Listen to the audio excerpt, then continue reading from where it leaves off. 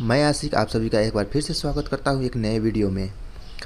दोस्तों, आज हम बात करने वाले हैं नागरिकता संबंधित।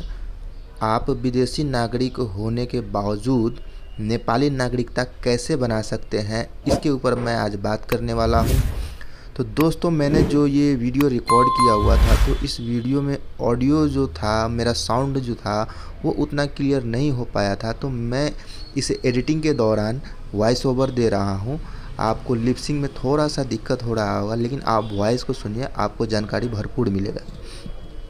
ठीक है, शुरू करते हैं इस वीडियो को।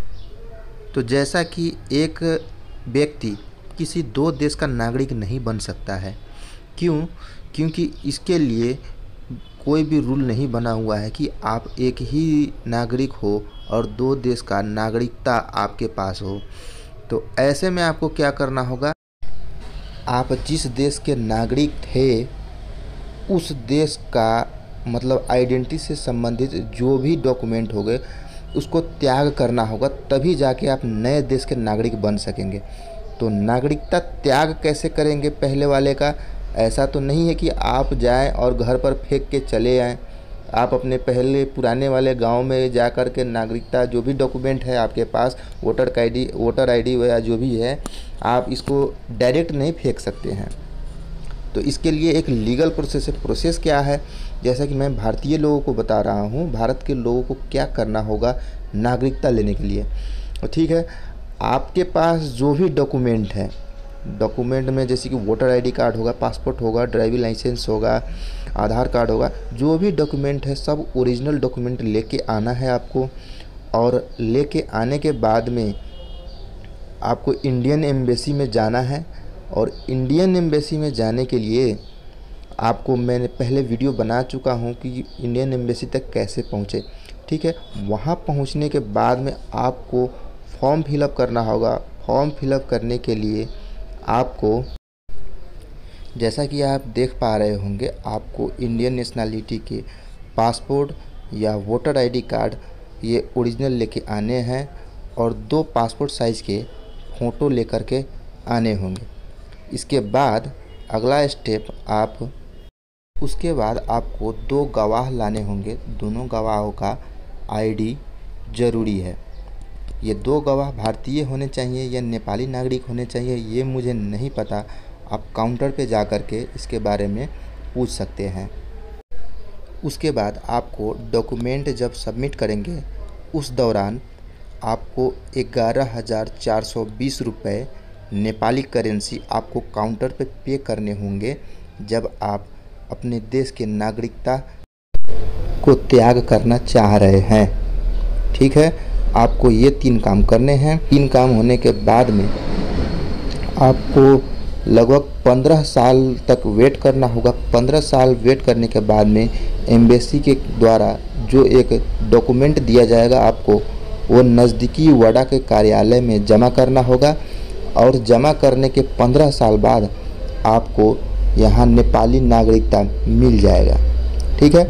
नेपाली नागरिकता मिलने के बाद में आपको आम नेपाली नागरिक की तरह आप यहाँ पर मतदान और जो भी मतलब घर जगह और जो भी कारोबार करना चाहते हैं, वो कर सकते हैं। ये तो हो गया पहला रूल अब अगला रूल की तरफ़ हम बढ़ते हैं तो अगला रूल में आपको बाय द बर्थ नेपाली नागरिकता मिल सकता है। तो बाय द बर्थ किसको मिलेगा? जब आपके बच्चे नेपाल के किसी हॉस्पिटल में जन्म ले रहे हैं। नेपाल के किसी हॉस्पिटल में जन्म लेने के पश्चात आपको एक बर्थ सर्टिफिकेट दिया जाता है। उस बर्थ सर्टिफिकेट को आप अपने नज़दीकी वार्ड ऑफ़िस में ले जा कर के वाडा कार्यालय में ले जा कर के सबमिट करेंगे। सबमिट करने के लिए आपको बच्चे का माता पिता का जो डॉक्यूमेंट लगेगा, इंडियन एम्बेसी का जो कार्ड लगेगा, वो कार्ड का फ़ोटोकॉपी और बच्चे का फ़ोटो वगैरह लगेगा। आप इसके लिए बेहतर जानकारी के लिए अपने नज़दीकी वार्ड के कार्यालय में जा सकते जब आपका रजिस्ट्रेशन आपके बच्चे का रजिस्ट्रेशन हो जाएगा तो उसे 16 साल में एक और फॉर्म भरना होगा। उस फॉर्म भरने के बाद में 16 साल में जो फॉर्म भरेंगे, उस फॉर्म को भरने के बाद में अट्ठारहवा साल जब पूरा होगा, तब उसे नेपाली नागरिकता मिल जाएगा। ये हो गया दूसरा प्रोसेस।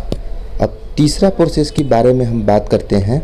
तो तीसरा प्रोसेस मतलब मैंने फेसबुक पर पढ़ा था कि ये लॉ आने वाला है, ये नियम आने वाला है, ये कानून पास होने वाला है, लेकिन पास हुआ कि नहीं हुआ, मुझे इसके बारे में कोई जानकारी अभी ऑफिशियली नहीं मिला है। मैंने नेपाल गवर्नमेंट के ऑफिशियल वेबसाइट पे भी देखा है तो इसके बारे में मुझे कुछ खास जानकारी नहीं मिला है। तो तीसरे लॉ के बारे में हम बात करते हैं। तो आप किसी विदेशी महिला से, किसी विदेशी महिला से शादी कर कर नेपाल में लेकर के आते हैं तो उस महिला को सात साल के बाद नेपाली नागरिकता मिल जाएगा। सात साल कंटिन्यू रहना है, सात साल में उसे नेपाली नागरिकता मिल जाएगा। ये होगा लड़की के हक में।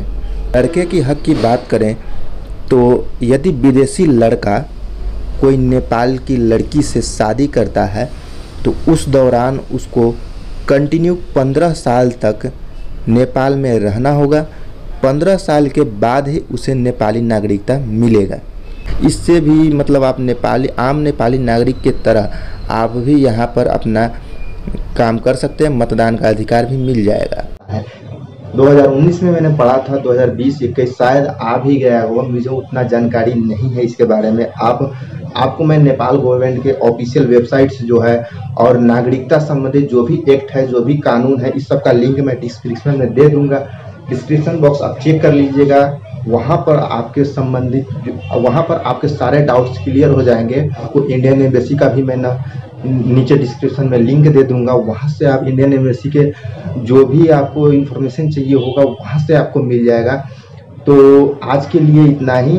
मैंने आपको तीन कंडीशन बता दिए। तीन कंडीशन में ही आप नेपाली नागरिकता को क्लेम कर सकते हैं। पहला हो गया आप बाई द बर्थ आपका बच्चा अगर कोई नेपाल में पैदा होता है तो उसका बर्थ सर्टिफिकेशन हॉस्पिटल से जो इशू होता है, उसको अपने नज़दीकी वड़ा कार्यालय में लेके जाना है। वहाँ आपका काम बन जाएगा। दूसरा, आपको कंटिन्यूसली पंद्रह साल रहना है। और उस रहने के दौरान आप जिस देश के हैं, वहाँ वहाँ के आइडेंटिटी से रिलेटेड जो भी डॉक्यूमेंट है, उस सबको त्याग करना होगा। त्याग कहाँ करेंगे? आपको इंडियन एम्बेसी में जाना है। अगर भारतीय नागरिक है तो अगर बाहर के कोई नागरिक है तो आप उससे संबंधित एम्बेसी में जा सकते हैं। उसको त्याग करना होगा। आप त्याग करके पंद्रह साल कंटिन्यू रहते हैं तो आपका काम हो जाएगा। ठीक है, तीसरा अगर लॉ तीसरा लॉ 50 50 परसेंट मैं कंफ्यूज हो रहा हूँ कि ये लागू हुआ भी है या नहीं। इसके बारे में आप डीपली जाना चाहते हैं तो नीचे में डिस्क्रिप्शन में नेपाल गवर्नमेंट का लिंक दे दूँगा, वहाँ से आप चेकआउट कर सकते हैं। ठीक है, आज के लिए इतना ही। यदि आपको वीडियो पसंद आया हो, ये इन्फॉर्मेशन पसंद आया हो तो एक लाइक कर दीजिएगा, पसंद नहीं आया हो तो डिसलाइक कर दीजिएगा। अगर आपको कुछ पूछना है, इससे रिलेटेड या बिज़नेस से रिलेटेड कि बिज़नेस कैसे स्टार्टअप करना है तो आप नीचे कमेंट बॉक्स में आप अपनी क्वेश्चन छोड़ सकते हैं। मैं उसका जवाब देने के लिए तैयार रहूँगा। मैं पूरी कोशिश करूँगा कि जल्द से जल्द आपका उस टॉपिक मैं कवर कर पाऊँ। ठीक है? मिलते हैं नेक्स्ट वीडियो में। तब तक के लिए जय हिंद।